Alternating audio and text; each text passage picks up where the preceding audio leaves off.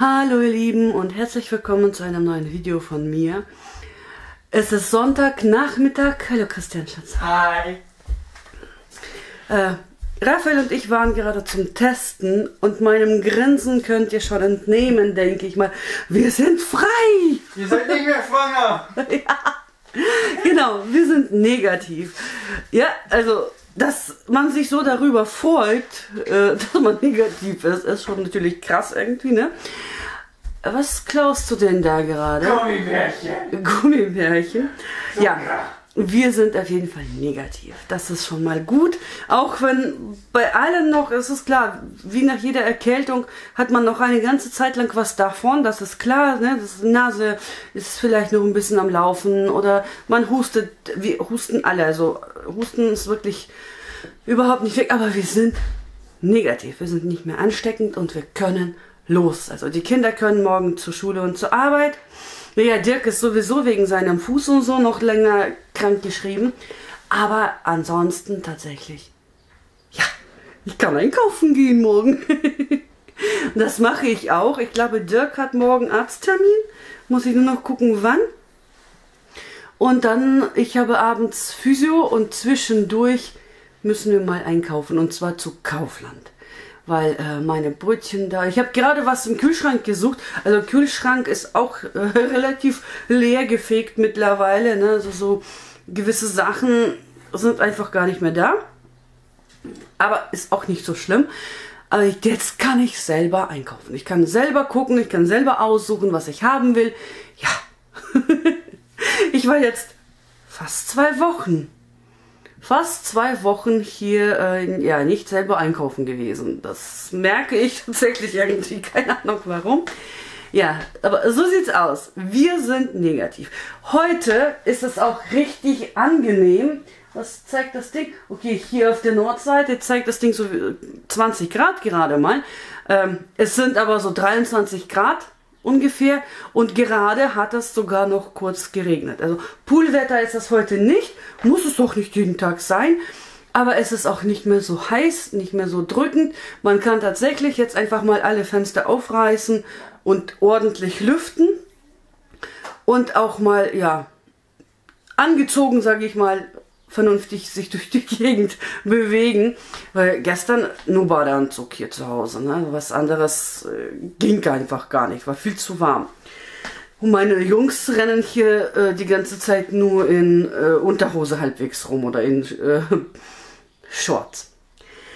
Ja, wir werden heute grillen. Das heißt, ich werde jetzt nicht kochen oder sonst was. Ähm, wir wollen trotzdem grillen, auch wenn das Wetter nicht so, hm, nicht mal regnet zwischendurch, aber wir haben ja unsere Holzterrasse und auch die Markisen.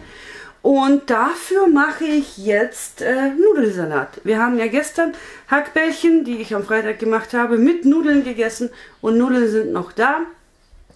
Und daraus bastel ich jetzt einfach mal einen Nudelsalat, der dann bis es soweit ist, bis wir grillen wollen, ein bisschen im Kühlschrank durchziehen kann. Und ansonsten weiß ich gar nicht, wo ich euch noch mitnehme. Wenn ich das schaffe, muss ich äh, eigentlich, ich hoffe es klappt, äh, auf jeden Fall Dirk und äh, Ralfi die Haare schneiden. Aber Ralfi muss man halbwegs echt mit Gewalt dazu zwingen. Er wächst lieber zu wie so ein Pumuckel. Sieht aber nicht mehr schön aus und außerdem ist das zu warm, finde ich, jetzt im Sommer für so längere Haare.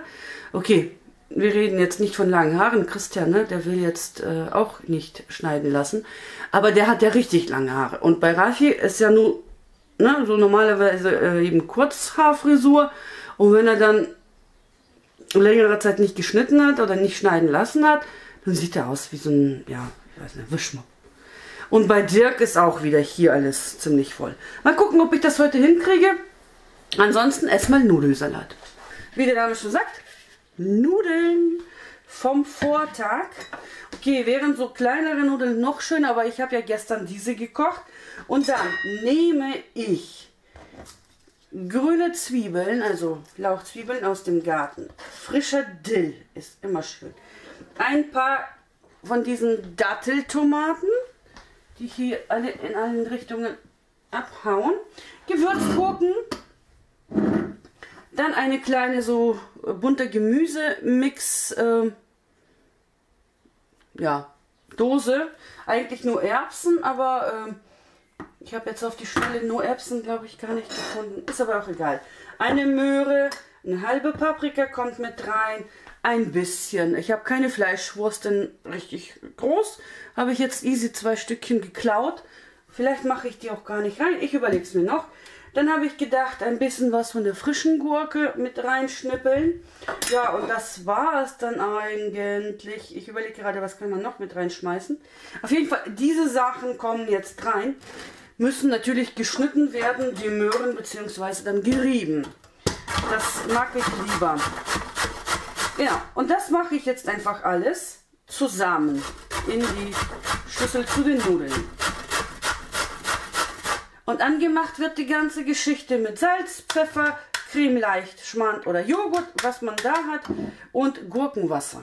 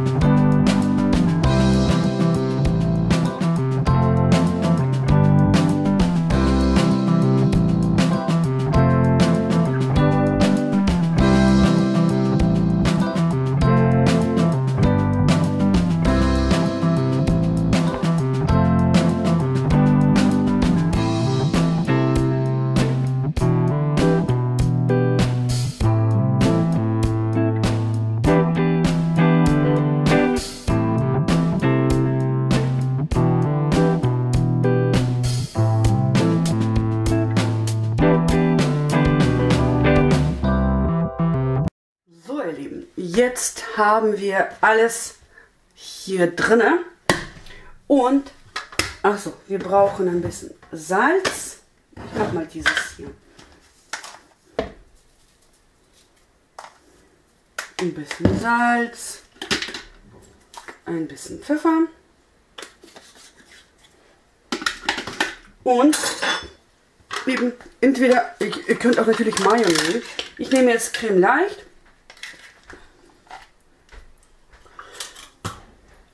und ein bisschen was von dem Gurkenwasser.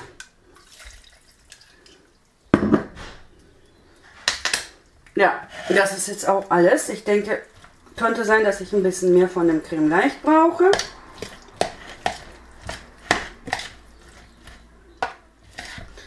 Alles schön miteinander verrühren.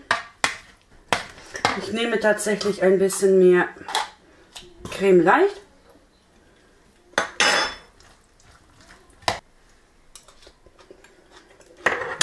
Mmh. Fertig. Das ist jetzt mein Nudelsalat.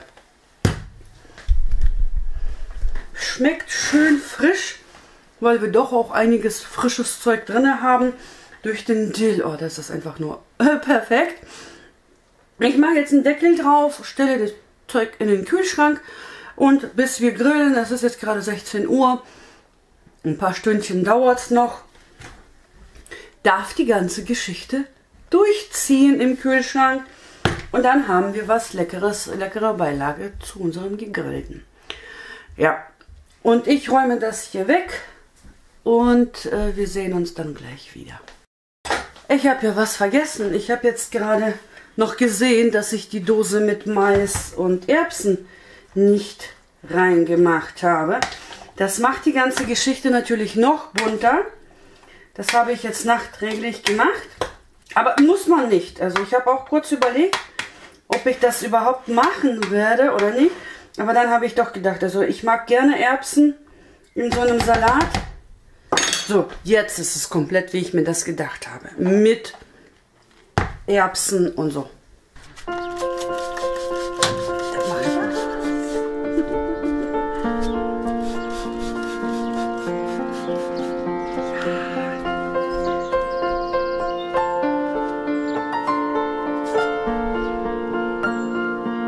Jetzt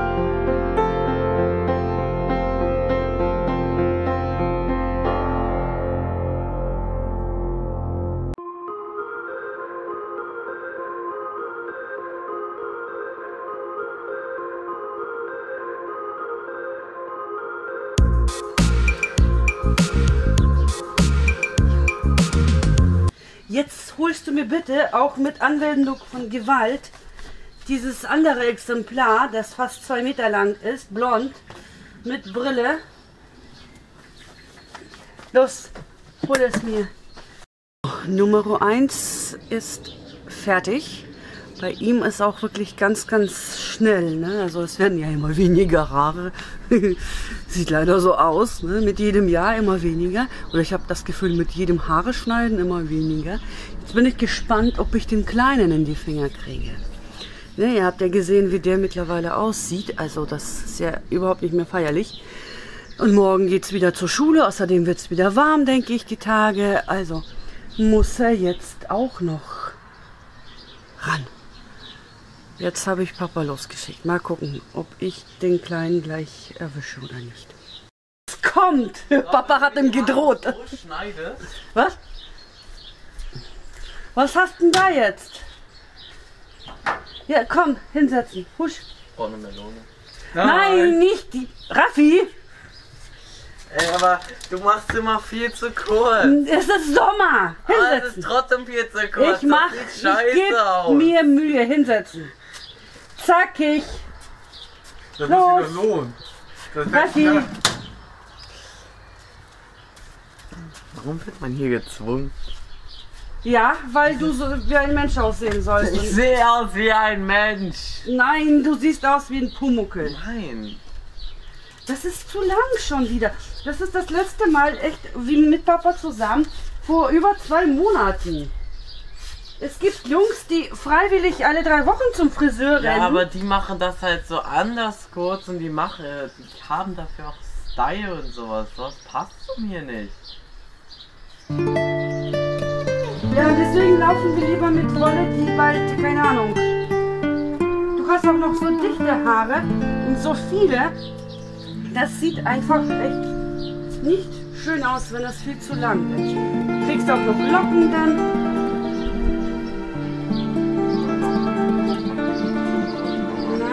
Nein, mach ich nicht.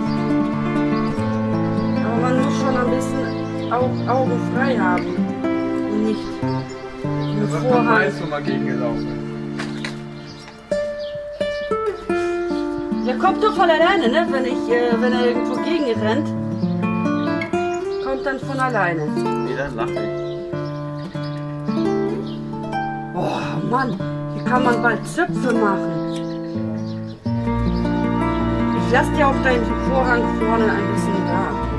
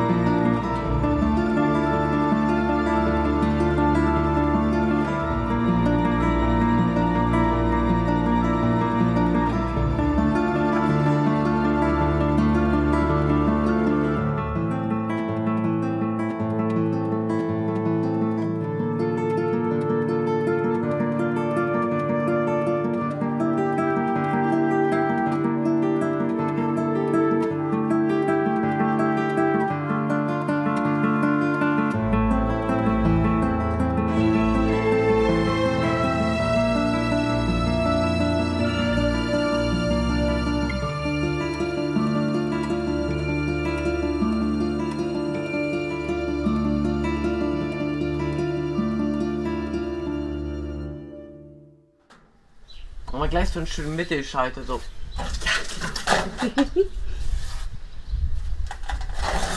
Super. Gut gemacht. So schön behaart. Du bist behaart. Ach guck, von deinen Haaren kann man hier echt mittlerweile ein Kissen fühlen. Sie- Siehst du? Das meiste ist deins. So, Mission erfüllt. Ich war erfolgreich. Jawohl. Oh, das ist mir egal. Also meine beiden Jungs, also diejenigen, denen ich Haare schneiden darf, Ich meinte nur wegen so Rauchentwicklung, sind fertig. Grill schmeißt, äh, Grillmeister, boah, genau, der hat mich gerade abgelenkt. Der Grillmeister schmeißt den Grill an, so ist es. Und ich äh, räume erstmal meine ganzen Utensilien weg. Hast du Raffi Bescheid gesagt, Easy?